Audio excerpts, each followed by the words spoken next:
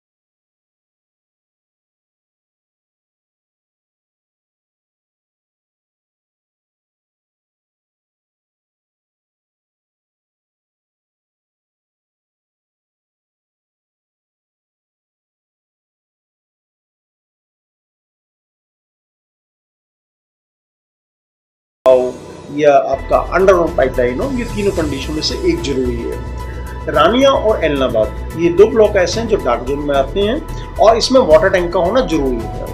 लेकिन अभी पीछे कुछ रिसेंटली भी रिलैक्सेशन देते हुए भी उसमें ये कर दिया कि जिनके पास पहले से ही बोट किए हुए पुराने बोट हैं और वो डीजल सेट को यूज़ करते हैं। इलेक्ट्रिक नहीं है। और उन्होंने बिजली के कनेक्शन के लिए आवेदन नहीं किया है तो उनको भी छूट का वो लाभ उठा सकते हैं और वो लोग भी इसके अंदर अप्लाई कर सकते हैं। अभी तक जो पहली स्टेज में हमने जो लिस्ट ली है, वो 31 मार्च तक जिन आवेदकों ने आवेदन किए हैं, पहले उन्हीं को हम लेंगे। हमारा हरियाणा स्टेट का इस बार उन्नीस बीस का जो टारगेट है, वो पंद्रह हज़ार ट्वेल्व का है। पंद्रह हज़ार का कंप्लीट होने के बाद में, क्योंकि पूरा ओवरऑल लगने पचास हज़ार ट्वेल्व हैं, लेकिन फ़र्स्ट पेज में हमने पंद्रह हज़ार उन्नीस बीस के अंदर लिए थे।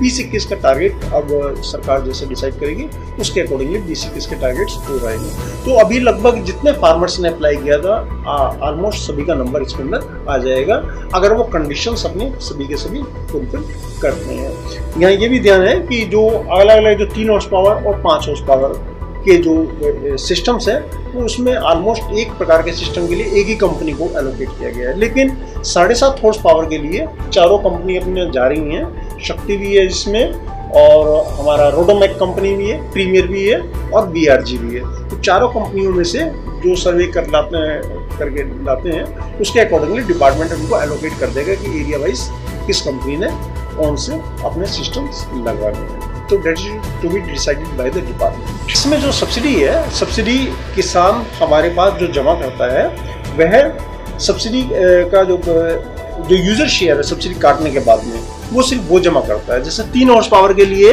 अगर कोई डीसी का सर्विस पंप लगाता है तो उसको forty thousand seven hundred seventy nine चालीस हज़ार सात सौ उनासी रुपये का D D E D C कार्यालय में जमा कराना होगा या ई डी सी के अकाउंट में जमा करना होगा उसमें पैसे। इसी तरह से डी सी तीन एच पी में सबमर्सिबल पंप है, बयालीस हज़ार तीन सौ बयालीस थ्री एच का ए एसी सबमर्सिबल पंप है इकतालीस हज़ार तीन सौ नब्बे है। पाँच एच का है fifty nine thousand four ninety one D C submersible के लिए और पाँच H P A C submersible fifty seven thousand eight twenty six seven point five H P D C में eighty eight thousand fifty two और seven point five H P में AC submersible 83,860 तो farmer ने जो apply किया होगा उसी के अकॉर्डिंगली वो अपना पैसा जमा कराएगा सब्सिडी काटने के बाद, जो उसका अपना शेयर बनता है। एक चीज़ मैं और कहना चाहूँगा कि अभी चूँकि कोविड के कारण का थोड़ी दिक्कत हो रही है कि कंपनी को ऑर्डर डिपार्टमेंट प्लेस कर चुका है और ये कंपनी ज़्यादातर गुजरात, मध्य प्रदेश, हैदराबाद, यहाँ से ज़्यादातर कंपनी हैं। और सामान में आने के कारण मतलब ट्रांसपोर्टेशन के कारण थोड़ी दिक्कत थी।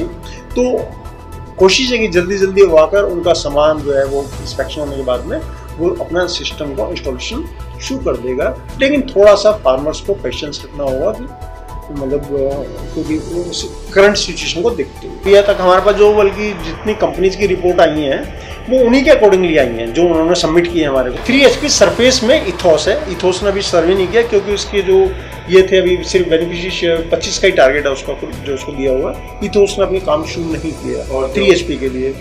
और three H P D C submersible में प्रीमियर एनर्जी प्रीमियर एनर्जी के अलावा three H P D C submersible में और कोई नहीं लगाएगा। ऐसे three H P A C submersible में इको जोन मध्य प्रदेश की है ये छत्तीसगढ़ साइड से और जो है ये सिर्फ़ वही लगाएँगे अपने ए सी सबमर्सिबल तो हर एक रोडोमैक है पाँच एच पी के हैं तो सिर्फ़ रोडोमैक ही लगाने हैं। पाँच एच पी में रोडोमैक सिर्फ़ और सिर्फ़ रोडोमैक के हैं चाहे ए सी हो चाहे डी सी हो सिर्फ़ उसी ने लगाने हैं। साढ़े सात में थोड़ा सा कंफ्यूजन उनको रहता है कि कौन सी कंपनी लगाएगी। तो वो डिपार्टमेंट डिसाइड एरिया एलोकेट करने के बाद में, ताकि ये दिक्कत नहीं आए कि हम ये चाहते हैं कि, और डिपार्टमेंट ये चाहते हैं कि जो लगें वो थोड़ा हब के अंदर लगें।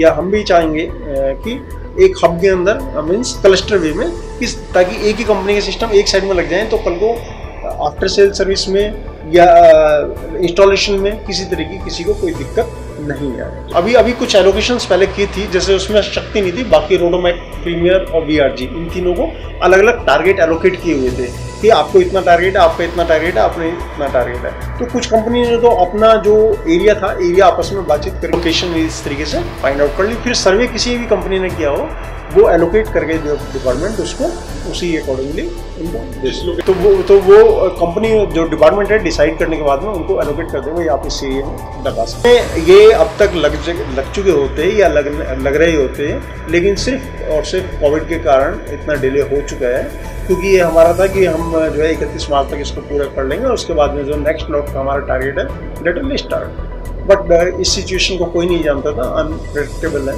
तो इसलिए फिर भी कोशिश है कि वो जो हमारा है, डेढ़ से दो महीने के अंदर अंदर जितने हमारे पास डिपॉजिट हो चुका है और जो कंपनी में साढ़े दस हॉर्स पावर का छोटा है। बाकी सभी के सभी डेढ़ से दो महीने के अंदर उम्मीद है वो लगनी शुरू हो जाएँगे सारे